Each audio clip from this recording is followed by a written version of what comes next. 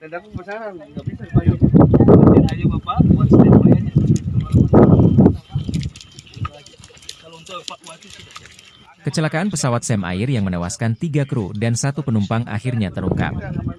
Insiden tersebut terjadi pada Minggu, 20 Oktober 2024 pagi.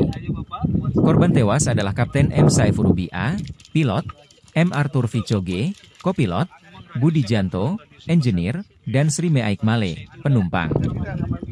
Kronologinya, pesawat Sam Air berangkat pukul 7.3 Wita dari Bandara Jalaluddin Gorontalo. Pesawat menuju Bandara Bumi Panua Pohuato. Pesawat sempat hilang kontak sesaat sebelum kejadian. Pesawat Sam Air melakukan kontak terakhir dengan Airnav Makassar. Informasi diterima bahwa pesawat jatuh di area Bandara Bumi Panua Pohuato. Pesawat yang terlibat dalam kecelakaan ini adalah tipe PKSMH berwarna putih.